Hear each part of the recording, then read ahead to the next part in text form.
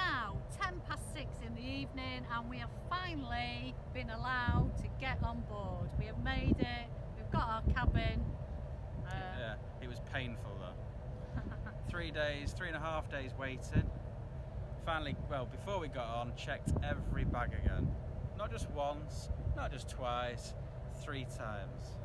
we still don't know what time we're going to be sailing, so we could be here in port for a good few hours.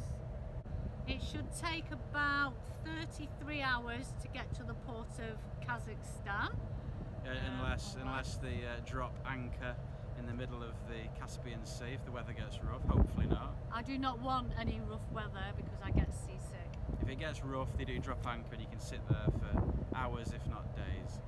So, so hopefully, it, like you say, in 33 hours we'll be in Kazakhstan, and hopefully we'll get in Kazakhstan a lot easier than we've got on this boat.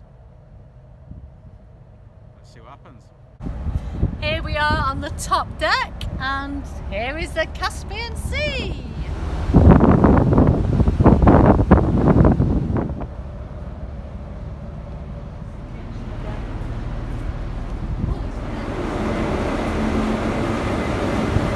This is our wonderful cabin. Please come and have a And it look. says European Union. I mean, I'm surprised you don't. Five star.